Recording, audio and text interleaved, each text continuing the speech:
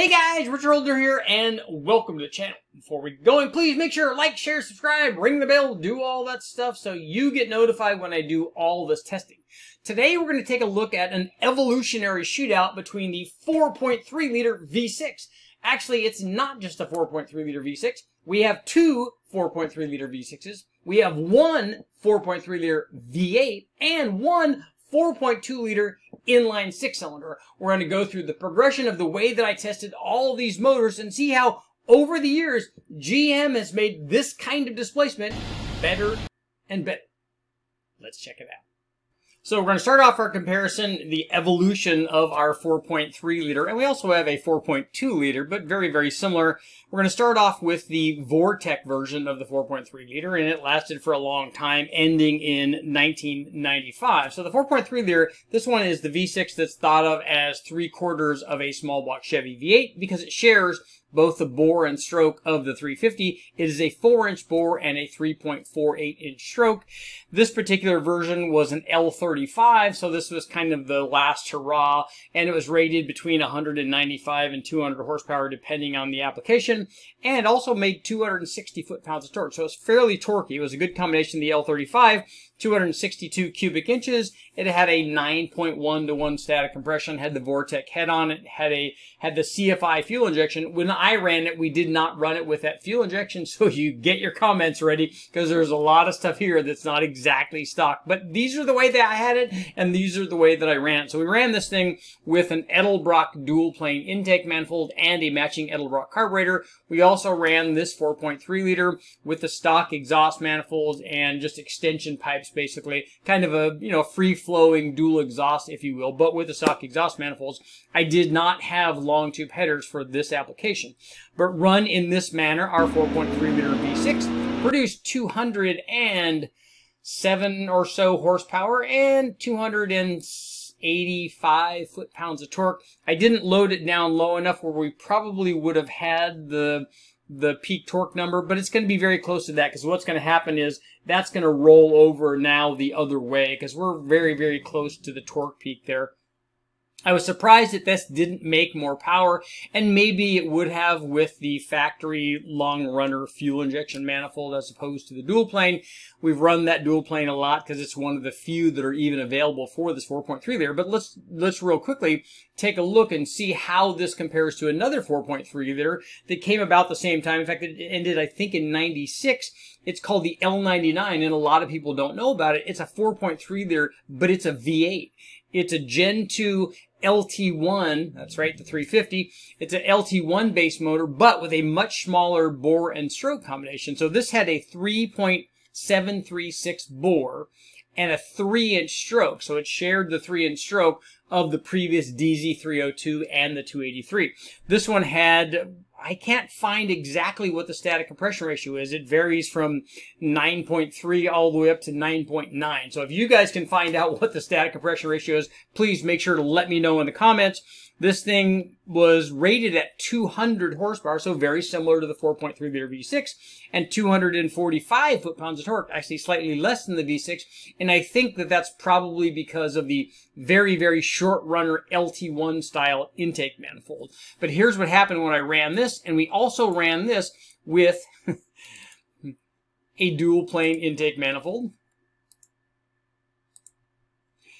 And you can see, I'm going to move me down here so I'm out of the way. You can see that the, the little V8 actually produced more power. We ran it with a dual plane GM intake manifold designed for the LT1 and a 650 Holley carburetor. The 4.3 liter V8 also had long tube headers on it because we had, basically it's just a small block.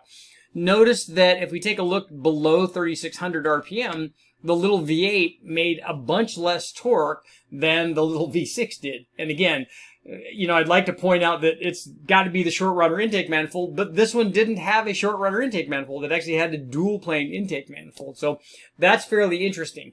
Um, now let's take a look at the final one before we step up all the way up to the LV3. The next one in our evolution is the 4.2 liter inline six cylinder. Now that we've taken a look at the 4.3 liter Vortec V6 and the L99 4.3 liter V8, let's step up into the modern era, let's say. And we have a combination that was last produced in 2009, and that is the Atlas inline six cylinder. So it is a 4.2 liter 4200. They also make it in a five cylinder and a four cylinder version, which is kind of cool. I'm hoping to be able to run those sometime as well. But the 4200 was, was a completely different bore and stroke. It was a 3.66 by 402 bore. It had a 10 to 1 static compression, obviously aluminum four valve. It was the designation was LL8 on the motor and it ranged in power from 275 on the early versions up to 291 horsepower and between 275 and 277 foot-pounds of torque. Not a big change in torque from the two configurations. It displaced 254 cubic inches, so less than the 262 to 263, depending on how you're rounding these things up or down. But it was slightly smaller, higher compression, four valve head, and obviously variable cam timing. So it did very well. And let's take a look at the 4200 and we can see how it compared to the other two it's quite a bit better. it, it produced 291 horsepower and peak torque checked in at right at 300 foot-pounds of torque. Still, still making more torque than horsepower. Pretty good indication that it's a that is a factory motor where you know they're a little bit more concerned with torque uh, production than they are like peak horsepower. And all of these are still making peak power below 6,000 RPM, even the 4200. But it did very well and is making good power.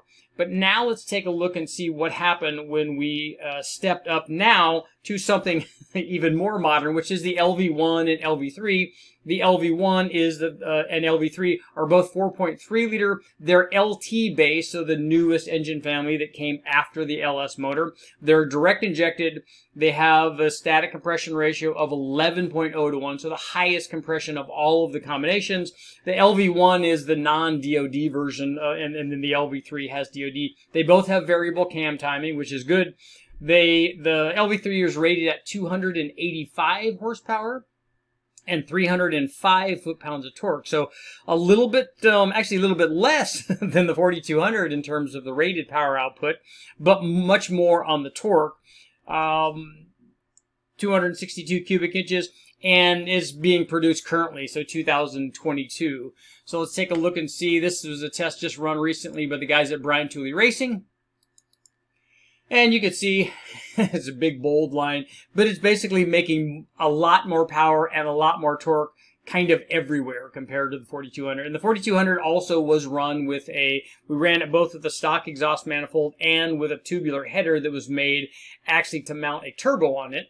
And we varied the cam timing on the 4200 um, unfortunately, the LV3 was not run with variable cam timing. They had problems with the phaser when they were running it, and they're going to redo this this baseline test. But I think what will happen is you'll see that this thing makes even more power than it made here. It's doing fairly well. It's rated at 285. It made right at a little over 300.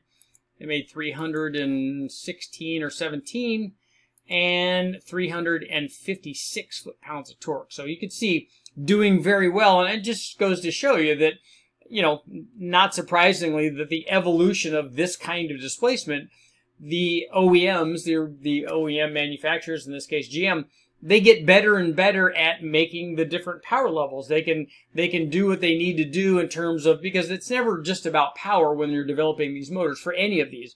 It's about fuel mileage and warranty issues and longevity and um, emissions. You know, there's a lot of things that are wrapped up in whatever this design is. But as we can see, they've managed to improve the breed dramatically on this kind of displacement. It kind of makes me wonder what's going to happen next. Let's get to our conclusion. Okay guys, what did we learn from this little adventure? Taking a look at our four different versions of the 4.3 liter slash 4.2 liter versions. This was very cool.